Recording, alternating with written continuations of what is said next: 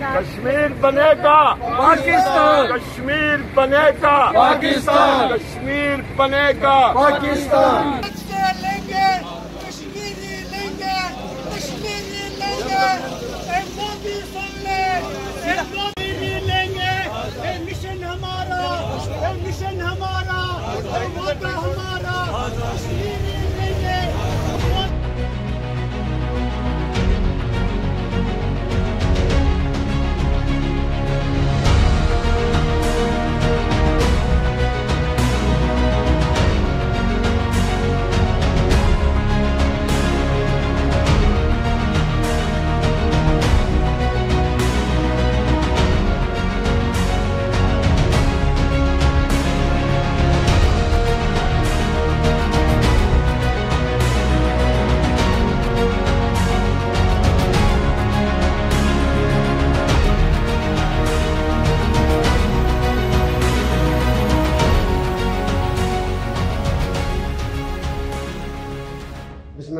रहीम, पाँच अगस्त 2019 को हिंदुस्तान ने एक ऐसा कदम उठाया कि जो अकवा मुतहदा की करारदादों और हिंदुस्तान की अपनी कमिटमेंट्स अकवा मुतहदा के अंदर कश्मीर के हवाले से जो थी, उनकी सरियन खुल्ला खिलाफ वर्जी और वायलेशन थी।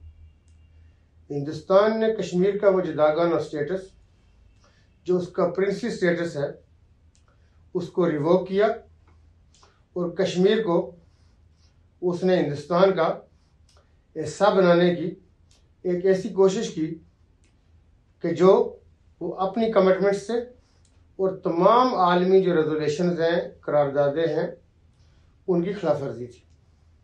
जबकि कश्मीरी, कश्मीर को एक नाकाबले तकसीम वाद समझते हैं। कश्मीर का जो प्रिंसली स्टेटस है, वो उसका बुनियादी हक है और कश्मीर ये समझते हैं कि जब तक कश्मीरियों से न पूछा जाए कि वो किसके साथ रहना चाहते हैं, वो अपनी ज़िंदगी कैसे गुजारना चाहते हैं तो हम ये समझते हैं कि हिंदुस्तान को किसी तौर पर भी ये हक हासिल नहीं है कि वो कश्मीर का प्रिंस स्टेटस 35 ए 370 को रिवोक करके कश्मीर का वो जदागाना स्टेटस ख़त्म करे और कश्मीर के अंदर नॉन कश्मीरियों को आबाद करके कि जब भी ऐसा मौका आए, आलमी दबाव बढ़े कश्मीरियों की जो जदोजहद आज़ादी है, वो हिंदुस्तान को ये घुटने टेकने पर मजबूर कर दे कि वो इस्तेफाब राय की तरफ़ जाए तो उस वक़्त वो इस्तेफाब राय का हक अपनी तरफ़ मोड़ सके। इस वक्त तक हालिया दिनों हमारी अपनी वजारत खारजा ने जो हमें ब्रीफिंग दी कि हिंदुस्तान इस वक्त तक तकरीबन बयालीस लाख नॉन कश्मीरियों को कश्मीरी सर्टिफिकेट और डोमिसाइल जारी कर चुका है। तो हम ये समझते हैं कि हिंदुस्तान का ये ऐसा अग्रेसिव रवैया, और उसके बाद आप देखिए कि पाँच अगस्त 2019 से लेके आज तक कश्मीर के अंदर कश्मीरी एक जेल की ज़िंदगी गुजार रहे हैं। तमाम आलमी कवानीन की खिलाफ वर्जी हो रही है, जो आम बुनियादी तौर पर ज़रूरियात की ज़िंदगी आम शहरी को हासिल होती हैं।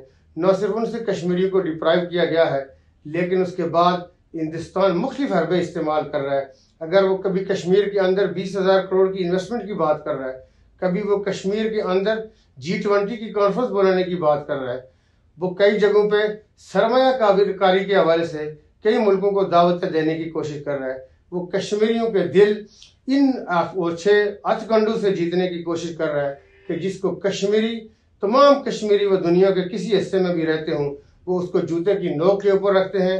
हम कश्मीरी, तमाम कश्मीरी एल के उस पार रहने वाले एल के इस तरफ़ रहने वाले, या पाकिस्तान से बाहर जो कश्मीरी ओवरसीज पाकिस्तानी हैं, वो सिर्फ़ एक ही बात समझते हैं कि हम पाकिस्तानी हैं और पाकिस्तान हमारा मुल्क है, हमारा मरना और जीना पाकिस्तान के लिए है। पाकिस्तान के अलावा हमारा कोई ऑप्शन नहीं है, कोई और राय नहीं है। इसलिए पाकिस्तान ने, आज़ाद कश्मीर ने हमेशा इस बात को इनक्रेज किया। हम ये समझते हैं कि आओ कश्मीरियों से पूछो कि वो क्या चाहते हैं, कश्मीरी किसके साथ रहना चाहते हैं। तो हम ये समझते हैं कि हिंदुस्तान को भी अगर ये जोम है तो वो इन हथकंडों के बजाय, इन चीज़ों के बजाय वो ऐसी चीज़ है कि जिसको कश्मीरी जूते के नोक के ऊपर समझते हैं। वो भी आलमी कवानीन को फेस करे।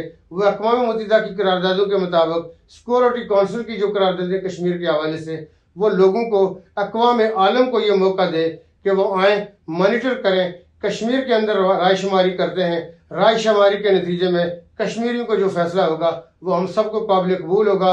हिंदुस्तान को भी, हिंदुस्तानी एस्टेब्लिशमेंट को भी ये कबूल करना चाहिए कि कश्मीरी क्या फैसला करते हैं। जो 2019 में हिंदुस्तान ने कश्मीर की हैसियत को तब्दील करने, उसकी डेमोग्राफी को चेंज करने, और वहाँ पे जो कानून बदल के शहरीत देने और प्रॉपर्टी ख़रीदने के कानून बनाए हैं जिसके ज़रिए हिंदुस्तान अपने जारी तसलुत या अपने जारी जारहाना अज़ाइम के ज़रिए अब वो हिंदुस्तानी आकूपाइड कश्मीर के अंदर मुसलमानों की कश्मीरियों की डेमोग्राफिक चेंज करना चाहता है वो वहाँ पे गैर कश्मीरी गैर मुस्लिम लोगों को आबाद करके आ, कश्मीर के लोगों के सेल्फ़ डिटर्मिनेशन के उस राइट को उनके जज्बा हुरियत को उनके जज्बा आज़ादी को दबाना चाहता है।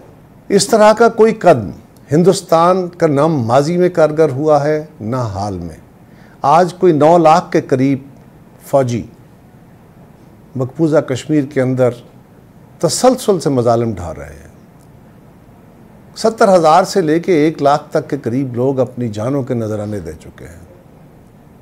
हज़ारों की तादाद में लापता कब्रें, बेनिशान कब्रें हैं जो दरियाफ्त हुई हैं।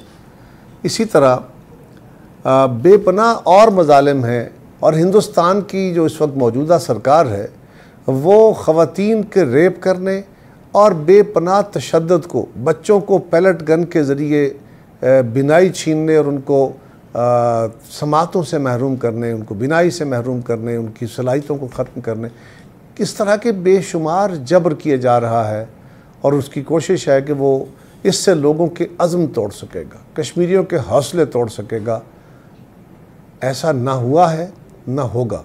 जो लोग इतना बड़ा खून की कुर्बानी दे चुके हो, इतनी अजीम कुर्बानियाँ दे चुके हों, उनके जज्बे दबाए नहीं जा सकते। लेकिन पाकिस्तानी कौम के तौर पे हमें सबको सिर्फ़ लफ्ज़ों से आगे बढ़ के अमला उनका साथ देना होगा। आज के दिन हम सबको इकट्ठे होकर बाहर निकलना होगा। पाकिस्तानी कौम को चाहिए कि जो भी कश्मीर का दिन हो, उस दिन बाहर निकलें, कश्मीर का झंडा उठाएँ, उनके लिए आवाज़ उठाएँ। दुनिया भर में जहाँ जहाँ आप हैं वहाँ पे उनके सफ़ीर बने, दुनिया के ओपिनियन को। इस वक्त जंगें शायद मसाइल का हल ना होंगी, लेकिन दुनिया का जो आलमी ज़मीर है, ये जो वर्ल्ड ओपिनियन है, उसको अगर हम कश्मीरियों के हक़ में मोड़ सके तो ये हमारे लिए एक बहुत बड़ा कंट्रीब्यूशन होगा हमारी तरफ़ से।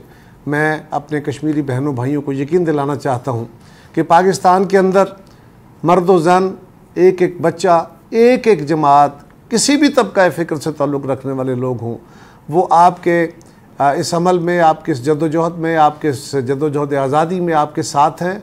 हम हर मुमकिन आपकी मदद और आपका मुकदमा लड़ते रहेंगे। ये हम पे फ़र्ज़ भी है और हम पे कर्ज भी है। आज तीन साल हो गए हैं फिफ्थ ऑफ़ अगस्त को, जब हिंदुस्तान की खूनी सरकार ने एब्रोगेट किया आर्टिकल 370 और 35 ए को। सत्तर साल हिंदुस्तान की दहशतगर्द आर्मी ने अपने पैर जमाए मकबूजा जम्मू कश्मीर में। और अब इस सदी की सबसे बड़ी डिकेटी लैंड ग्रैबिंग के लिए हिंदुस्तान की सरकार ने अपनी आवाम का लाखों का रेला जो है, वो मकबूजा जम्मू कश्मीर में भेज दिया है। हमें अपने ही पैरों के तले ज़मीन खींच दी है। हमें अपने घरों से बेघर करके सड़कों पे फेंक दिया है। हमारे जम्मू कश्मीर के जो स्टेट सब्जेक्ट छीन लिया है और 60 लाख डोमिसाइल्स इंडिया के हिंदुओं को दे दिए गए हैं। ये कौन सा असूल है? ये कौन सा इंसाफ है? मगर हम हिंदुस्तान से ऐसा कुछ भी अच्छा एक्सपेक्ट नहीं कर सकते। इसने वो अल्लाह का जो कहर पड़ा दुनिया भर के अंदर कोरोना का, उससे भी सबक नहीं सीखा। जब फिफ्थ ऑफ़ अगस्त को उसने पिंजरे में मकबूजा जम्मू कश्मीर की पूरी कौम को बंद कर दिया और फिर जो अल्लाह की तरफ़ से अजाब आया। बल्कि उसके बाद भी अंधा गूगा बहरा हो गया और जो उसकी खून की हवस थी, कश्मीरियों के खून का प्यासा था, और भी ज़्यादा दहशत करती की। मगर इन ताला एक दिन आएगा। कि जो हमारा ईमान का हिस्सा है, कि हमारी कुर्बानियाँ शहीदों की कभी रायगा नहीं जाएँगी और हमें इसका फल मिलेगा, इसी दुनिया में मिलेगा इन ताला। मगर तब हिंदुस्तान हाथ मलता रह जाएगा और अल्लाह के अजाब के अंदर पकड़ा जाएगा। बिस्मिल्लाह रहीम पाँच अगस्त 2019 को भारत ने हमारी डेमोग्राफी पे अटैक किया और भारतीय इकदाम के बाद मकबूजा रियासत जम्मू कश्मीर में एक नई सूरत हाल ने जन्म लिया। कश्मीर में इस वक्त बुनियादी हकूक सलब हैं। वहाँ पर इंसानी हकूक की दजियाँ उड़ाई जा रही हैं। वहाँ पर रिलीजियस राइट्स नहीं है। वहाँ पर मावरा अदालत कत्ल हो रहे हैं।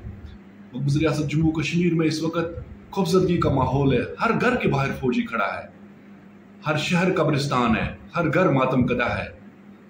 जहाँ भारतीय फौजियों को ट्रिब्यूनल लॉज के अंदर तहफ़ हासिल है कि वो किसी को भी मार सकते हैं, कत्ल कर सकते हैं, हमारी प्रॉपर्टी को डिस्ट्रॉय कर सकते हैं, कोई पूछने वाला नहीं।